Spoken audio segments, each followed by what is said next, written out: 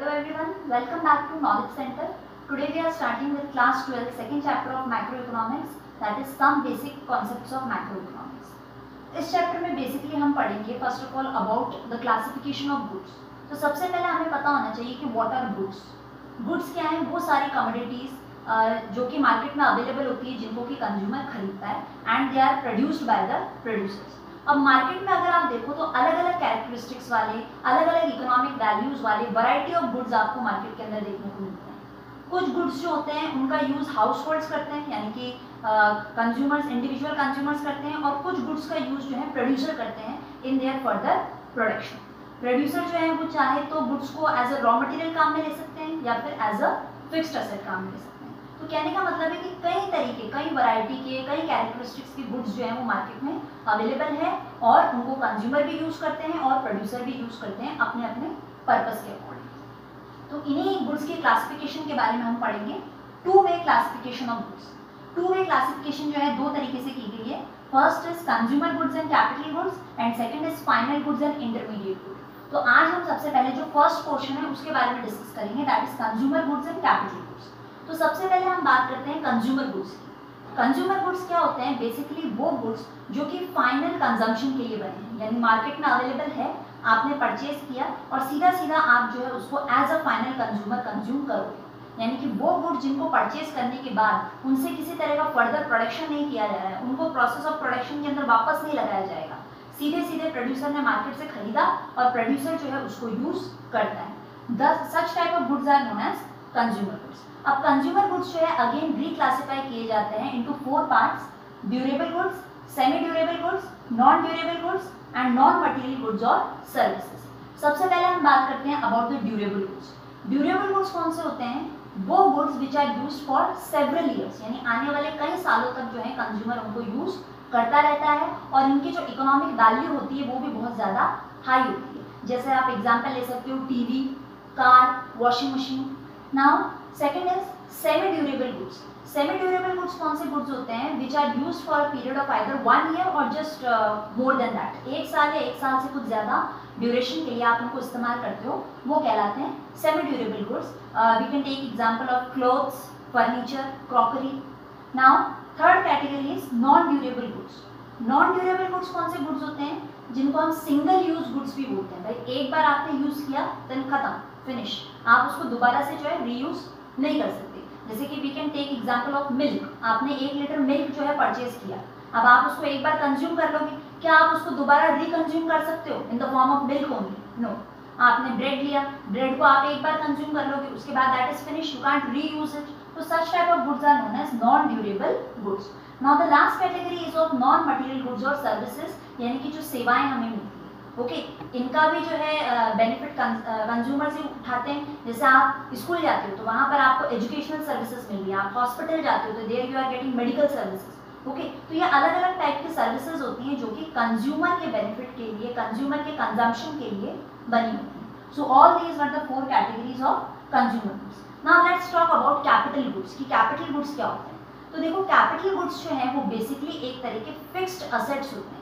Fixed assets that are used in production for several years यानी कि आने, एक बार आपने खरीद के रख लिया, मैं प्रोड्यूसर हूँ, मैंने एक बड़ी प्लांट मशीनरी जो है अपने प्लांट के अंदर स्टैब्लिश कर ली। तो अब आने वाले सेवरल ईयर्स तक मैं उस मशीन का यूज़ करती रहूँगी in my process of production एक और basic important characteristics capital goods की, कि कैपिटल गुड्स पहली बात तो फिक्स्ड असेट्स होते हैं used by producer second thing their value is high high economic वाले जो गुड्स होते हैं they are coming under the category of capital goods and third most important thing कि कैपिटल गुड्स के ऊपर डेप्रिसिएशन लगता है।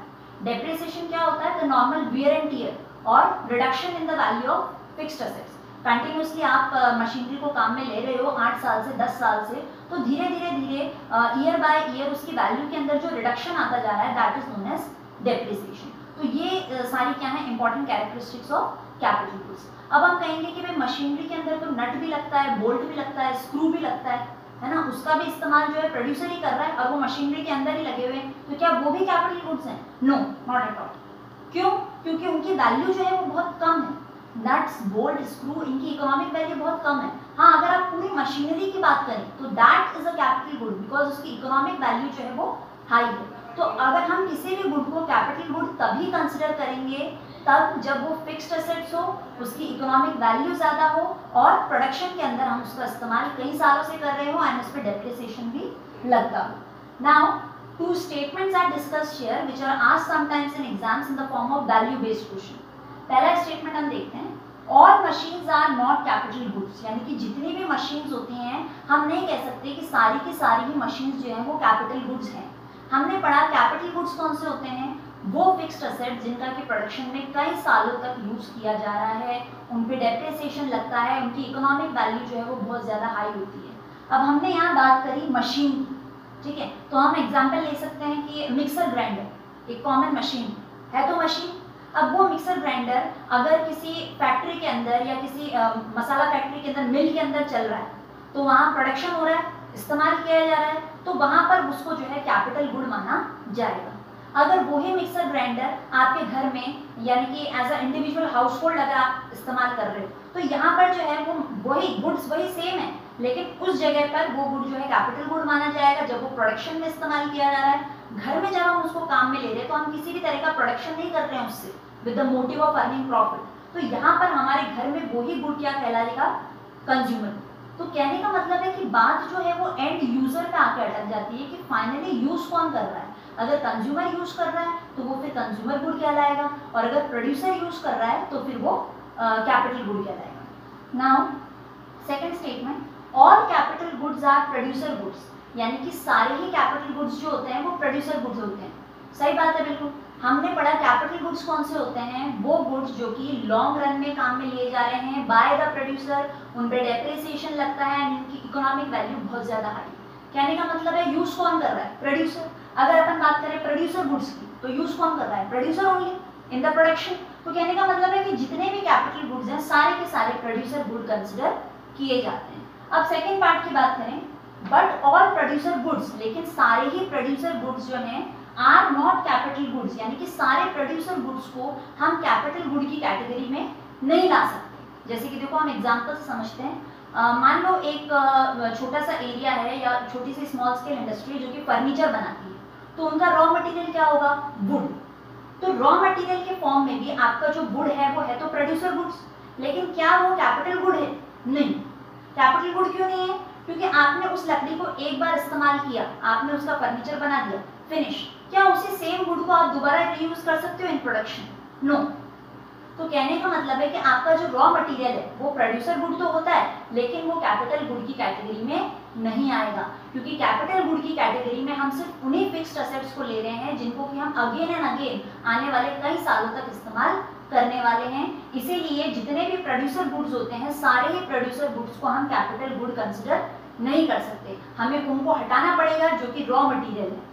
अब देखो, इसी स्टेटमेंट से लिंक है। हमने जो सेकंड वाले पॉइंट में कॉन्ट्रडिक्शन किया है, उसी से ये चीज़ निकलती है कि भाई बेसिकली प्रोड्यूसर गुड्स जो होते हैं, इसके टू कैटेगरी होती हैं। एक है सिंगल यूज़ प्रोड्यूसर गुड और दूसरा है ड्यूरेबल यूज़ प्रोड्यूसर गुड जैसा कि अपन ने अभी डिस्कस किया सिंगल यूज़ प्रोड्यूसर गुड्स कौन से हैं? वो वुड जिससे कि हमने फर्नीचर बना लिया, एक बार अब सिंगल यूज़ कर सकते हैं उसका, उसको दोबारा प्रोडक्शन के अंदर हम काम में नहीं ले सकते। तो वो हमारा सिंगल यूज़ प्रोड्यूसर हो गया। कहने का मतलब है कि वो सारे प्रोड्यूसर गुड्स जिनको कि आप रॉ मटेरियल की तरह, कच्चे माल की तरह प्रोडक्शन में काम में ले रहे हो और एक ही बार ले सकते हो, दोबारा नहीं ले सकते, वो सारे आपके आएँगे इस कैटेगरी में सिंगल यूज़ प्रोड्यूसर गुड्स और दूसरी जो कैटेगरी है ड्यूरेबल यूज़ प्रोड्यूसर गुड्स इसमें वो सारे गुड्स आएँगे, आपके वो सारे प्रोड्यूसर गुड्स आ जाएँगे, जिनका कि आप इस्तेमाल आने वाले कई सालों तक करोगे वो आपके फिक्स्ड असेट है, उन पर डेप्रिसिएशन भी लगेगा, उनकी इकोनॉमिक वैल्यू भी हाई है तो इसीलिए आपका जो सेकेंड कैटेगरी है प्रोड्यूसर गुड्स का, उनको हम कैपिटल गुड्स में इंक्लूड करेंगे फ़र्स्ट कैटेगरी जो है सिंगल यूज़ वाली, उनको हम कैपिटल गुड्स में इंक्लूड नहीं करेंगे So this was all the details about consumer goods and capital goods. Now we'll discuss about final goods and intermediate.